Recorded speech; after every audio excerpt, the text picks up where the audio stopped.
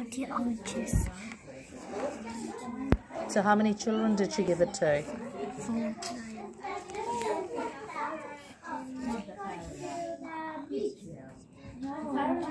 She give it to four children? Yeah. But I can see that you, she gave, you have given five oranges to one child. Let's have a read what it's asking us to do. How many oranges did she give? She gave. Four. So what do we need to do here? You want to check that? Let's check and I'm going to come back to you and see if you can check that and see if you can self-correct it. Let's try. Did she give four or five?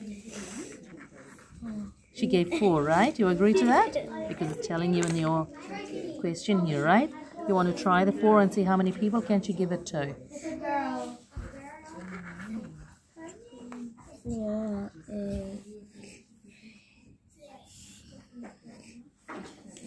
Uh, I'm just kidding. I am not Eight. I was closing my pen flying the one here. Sixteen. Twenty.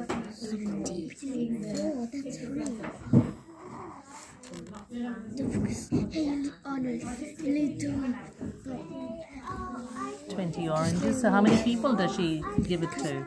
Five. Yeah, five. You agree now?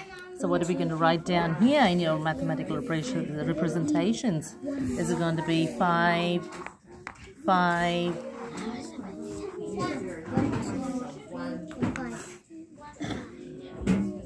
five what?